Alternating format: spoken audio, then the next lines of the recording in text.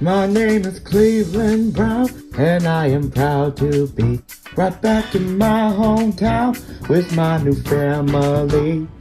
There's old friends and new friends and even a bear. There's good times and bad times, it's true love we share. And so I found a place where everyone will know my happy mustache face. This is a Cleveland show.